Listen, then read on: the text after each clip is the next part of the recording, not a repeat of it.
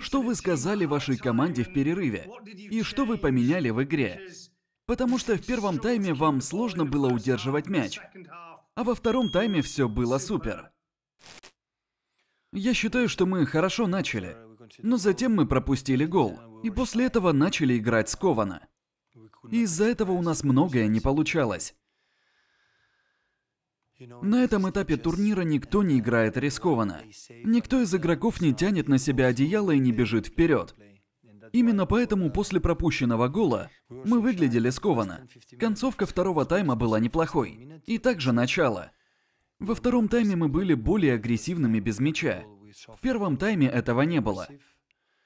В целом, второй тайм был намного лучше. Мы быстро возвращали себе мяч. Хотя это непросто.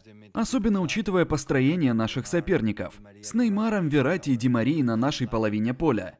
Все эти игроки очень опасны. Особенно Мбаппе на острие атаки. Но мы начали играть агрессивнее, с полной отдачей. Мы создавали опасные моменты и могли забивать больше.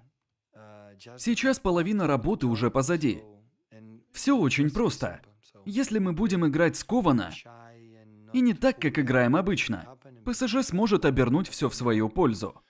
Но если мы сыграем так, как во втором тайме, или так, как против Дортмунда и Астон Виллы, где мы показали, кто мы такие, то мы сможем выйти в финал.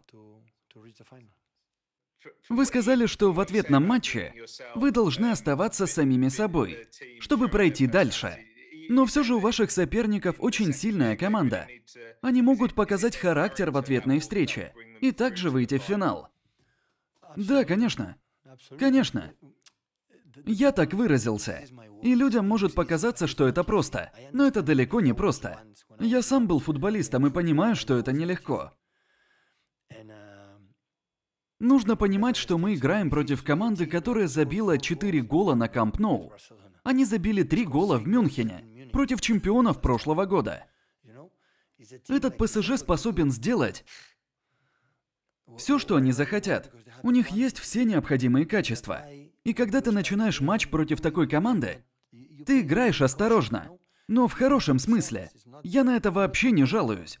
После первого тайма я сказал, ребята, я вас понимаю, я не жалуюсь. Я понимаю, вы чувствуете ответственность, потому что на кону выход в финал. Но вы должны справиться с этими ощущениями.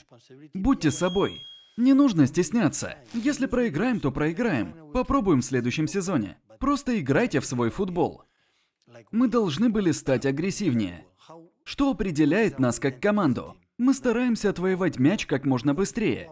Так выходите и попытайтесь это сделать. И они смогли. И я восхищаюсь тем, как они изменились во втором тайме. Изменились в лучшую сторону. Для меня это многое значит. Как правило, в таких ситуациях, когда ты начинаешь плохо, так продолжается до конца. Ты проигрываешь 3-0 и все закончено. Но все было иначе. В конце первого тайма мы уже играли лучше. Я сказал им, играйте точно так же. Во втором тайме они так и сделали. И затем, можете называть это удачей, но мы забили два гола. Первый тайм вы отыграли очень хорошо. Но как вы думаете, что произошло во втором? Во втором тайме ПСЖ начал отходить все глубже и глубже в защиту. Возможно, команда потеряла уверенность в себе. Что это было, по вашему мнению? Я думаю, первый тайм мы отыграли очень хорошо. Мы были лучшей командой на поле. А что касается второго тайма, у нас был очень хороший момент. Когда Мбаппе простреливал на Марко Вератти. К сожалению, мы не забили. И затем мы пропустили два гола, что является достаточно сложной ситуацией. Потому что сейчас при счете 2-1 ощущение не самое лучшее. Потому что мы проиграли. И можно сказать, что эти два гола полностью изменили наше ощущение от этого матча, которые у нас были ранее. Но в целом сегодня мы играли хорошо. Мы неплохо выступали против очень хорошего соперника в лице Мансити. Особенно мы были хороши в первом тайме. И также в начале второго. Я считаю, мы были лучше, чем наши оппоненты. Но в итоге впечатление от матча испорчено, потому что мы проиграли. Теперь мы отправимся в Манчестер с мыслями о том, что нам нужно побеждать, забив как минимум два гола. Видео переведено и озвучено специально для канала Sport.ua. Подписывайся. и жми колокольчик, чтобы не пропускать новые ролики.